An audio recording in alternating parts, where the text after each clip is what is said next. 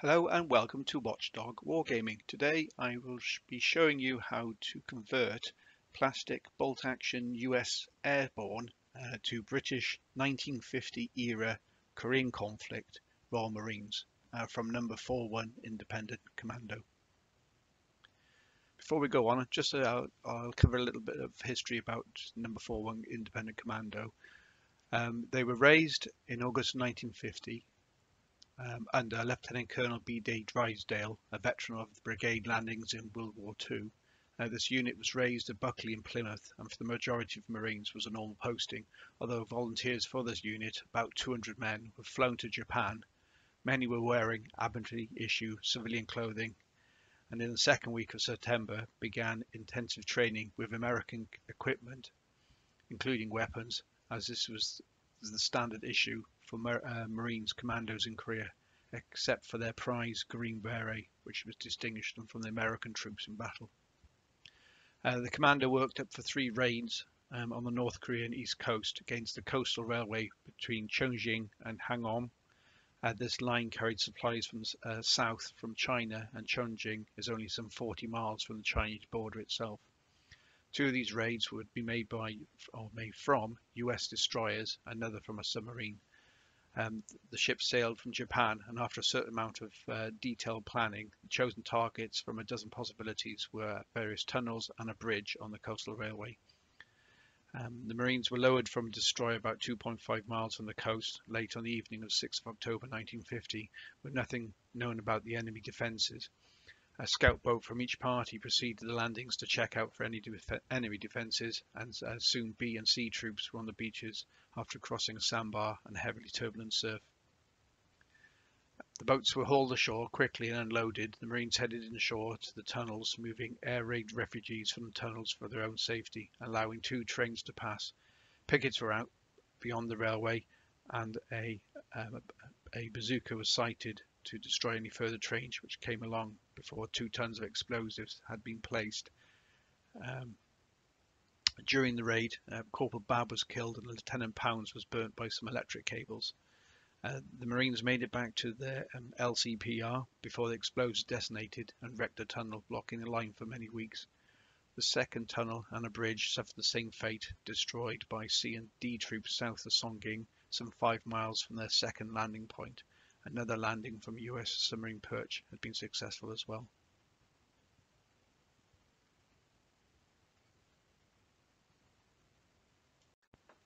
So to convert the bolt-action US airborne sprues into the uh, British 1950 Korean conflict Royal Marines, you will need the um, US airborne sprue, you will, um, and then if you've either got a spare US Army or a US Marine Corps uh, sprue, then that would be great because it gives you options for the US equipment with webbing and the actual weapons. Um, but one thing that you will need for this, this particular conversion is the British Airborne sprue, uh, and that's predominantly for the, um, the actual um, heads with all the berets on. The reason why I'm using the um, the M43 paratrooper uniform is that it's very similar uh, to the uh, the M51 uh, uniform that came out in Korea, but also as well as most British and Commonwealth units found, is that they were very reliant on the US logistic um, supply system for um, equipment, weapons, ammunition and um, some units were actually issued with the American M43 or some soldiers managed to acquire it through fair means and foul uh, uh, to replace their battle dress uniform.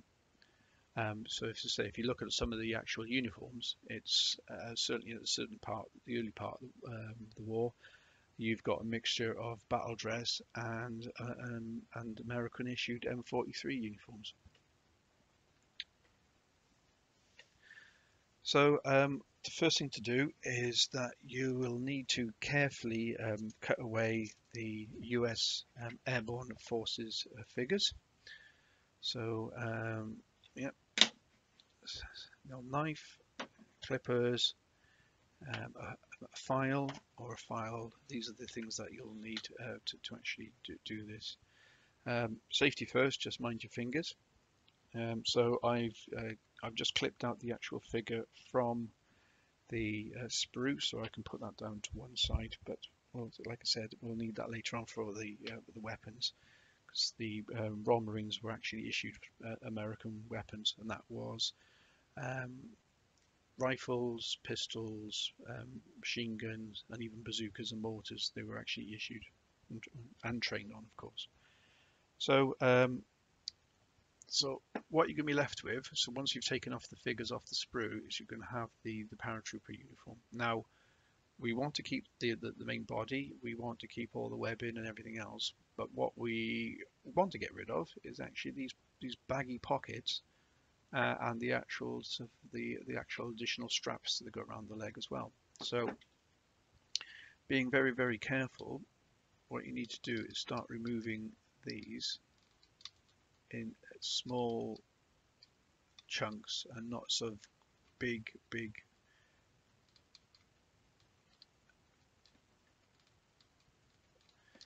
big, big chunks because we're trying to keep as much detail as we possibly can without actually removing all the detail from the actual figure. And also, I find that if you put a lot of pressure into it, usually the end up the knife ends up in your in your thumb, is something that we don't want.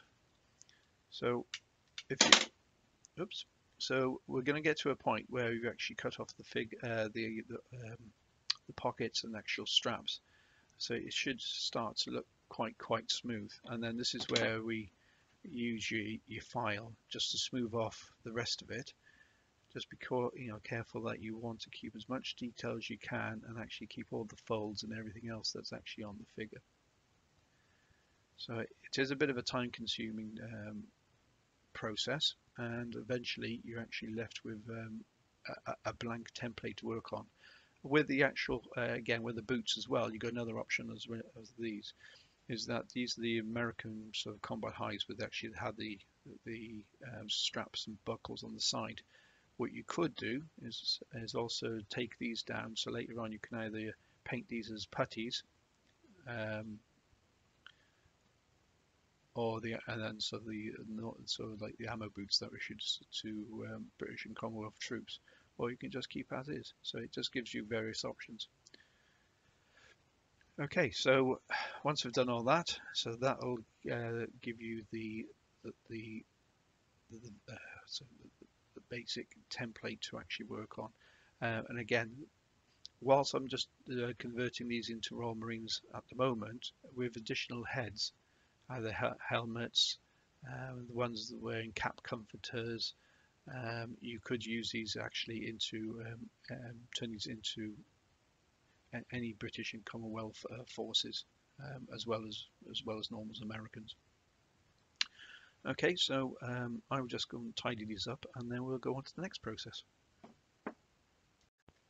So I've finally cleared off all the the remainder of the sprue and rubbed it down with my file and um, just gone over it with the, the nail file as well and so it's nice and smooth and I'm happy with it. Now this is personal preference. Um, I super glued my figure to um, a two pence piece. Um, I've been doing this for years so it's always the queen sort of um, head down so not super glued and um, yeah, and, and just gives a little bit of weight to the actual figure. So again, that's personal preference. You could use the actual plastic discs that come with the bolt action figures or um, actual metal washers. So now, what I want to do now is actually start looking at what type of weapons um, I'm using these. Uh, I'm going to fit, fit on these. Now, I'm basing these on the same um, organizational breakdown that a British commando unit would be. Um, so instead of actually having a, a Lee Enfield number four rifle, I'm going to give them either a Garand or an M1. Um, instead of actually having a Sten gun, um, um I'm going to give them either a, a Thompson or the um, M9 um, grease gun. Oh, instead of actually giving a Webley, I think there's there's on the sprues there's options for the officers to have pistols. Um, on, on the webbing as well, um, because they're raiding troops, they're probably going light. Um, if I've got a spare knife on the sprue, I like to fit a fit a knife on there as well, and probably a small backpack or or the actual. Um, so if they have the uh, Thompson or the M9, then I'll give the. Um, what I'll do is gently remove the actual sort of um, the little round pouches off here, and then and then sort of put the actual sort of um, uh, the magazines for the M9 or the Thompson on there as well. But this one's just going to be a normal bog standard rifleman. So I've, I've decided I've got an M1. Um, I've got a ooh, M1 carbine, which I'm going to uh, fit on him, um, and and and also one of this. So it's going to be the M1 carbine figure here with the arms already fitted. I'm going to use that, and I'm going to give it a backpack. So this has probably got explosives and stuff on that as well. Um, probably adds on some grenades, and then there's some um, uh, some fighting knives here as well. So I'll put those on in a second.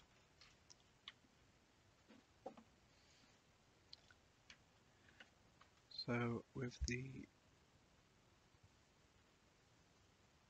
just clip it off. Some decent clippers. That's why it's one word of advice. If you've got some decent clip clippers, you're halfway there. If you've got ones that are blunt or they're not so, you know, so not so delicate, then so it might be worthwhile just up, upgrading them slightly. Going to quick one over with the emery board just to get rid of any sprue or flash that's actually on there. So that's the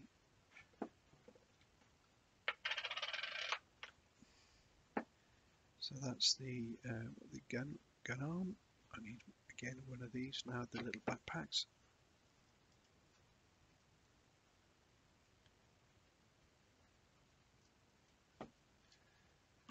What else did I say I was going to give him? Ah, fighting knife.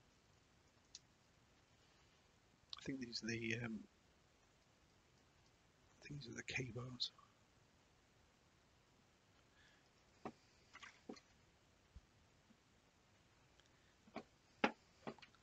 Let's have a bit of a dry run first, just to see if it all fits on there. Yeah, that's that's fine.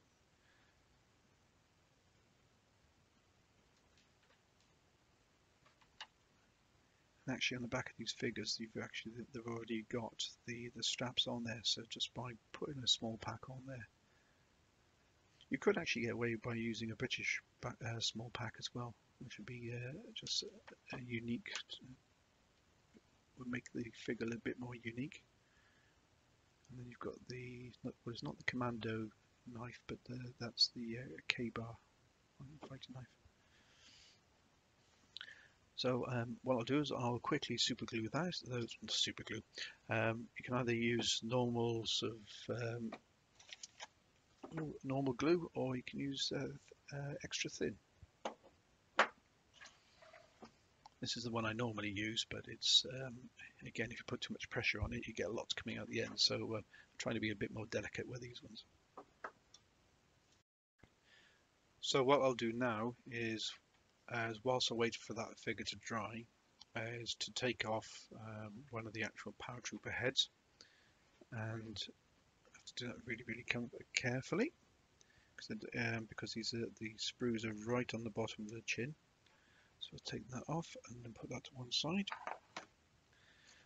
Now because they're they've actually got the the Airborne Forces cap badge is that if we're very, very delicate, delicate, we can actually just remove the actual wings off it slightly and keep the center bit, which we can use as the Royal Marine Cap badge.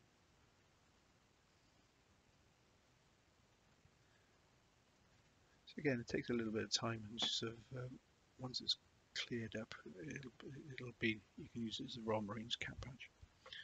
Now this this bit's next fiddly now because the Royal Marine heads are slightly a bit smaller. So these heads are slightly bit smaller than the US Airborne figures. So it's a bit of a faff. It's a bit of a faff, but what I've what I do is he says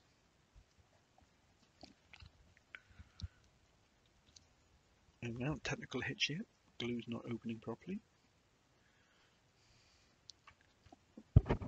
Now I'm going to use my normal poly cement on this one because I want a little bit, a little bit more glue than I would normally would, just to give it a bit more, um,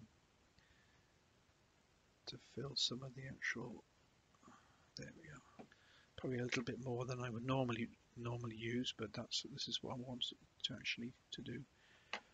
Now let's get the head that I prepared earlier. Now this should be so, uh, that's the one. And then what I want to do is try and get the head a little bit higher than is normally than it was sitting in there. Put the head into a um, into a shooting position. So as you can see, there we are. So um, if it is if, if, the gap's too big, then you can always use a little bit of green stuff and put a, a uh, do a face veil or something like that. But if it's uh, if you put just a bit too much glue in there and then rest the helmet, sorry, rest the helmet, rest the head on top of it, it'll actually give you uh, more more of a neck. Um, so um, what I did earlier on was, um, so it's got the weapon on the M1 carbine on there. It's got a small pack. It's got, um, I thought I gave him a water bottle and he's got his fighting knife. So that is that is the basic figure. So you've now got um, a Royal Marine who's wearing American uniform, American kit and equipment, uh, but he's kept his coveted green beret. So like I said, it's a pretty simple and fast way of converting things. Um, and it probably you're able to use spare sprues or figures that you've actually got. Um, so yeah, basing as well, you just base it how you want it. Um, what I'll do is I'll um, go on to the next bit where I've uh, got one or two that I've actually already uh, painted. Not completely finished, but uh, as, as you can see what I mean by uh, what's actually uh, you can actually do with these. Right, hang on, here we go. So what I'll do is I'll, um, at this point, I'll put up some uh, original pictures so you can be able to sort of see what I was, the result I'm trying to get based on these pictures, and hopefully it's, um, it's something that's, um, that looks similar and uh, something you can use on the actual wargaming table. So the first figure, this is the, um, says a, an NCO armed with um, a Thompson. Um, like I said, I've given him the Thompson magazines, uh, and he's got a bit of additional kit on the kit and equipment on the back. And then gone to the um, Marine with uh, M1 carbine. Um, again, he's got uh, pretty much as I did the other one. He's got a, um, a water bottle and a fighting knife on the on, on the side. He's got his Garand, and this one's got a bit of, he's got the actual backpack and everything else, so he's probably uh, carrying explosives or other demo charges. And then another, finally we've got another Royal Marine. Uh, and you can see is a good example of the M41 unit uh, uniform, which is very similar to the actual later one. In fact, it's very similar to patterns up until um, British Army started going into camouflage uniforms. So hopefully that's given you food, for thought for um, using some of your spare kit and equipment, spare sprues that you've got for uh, uh, for raiding parties, um, especially uh, for use in the Korean conflict.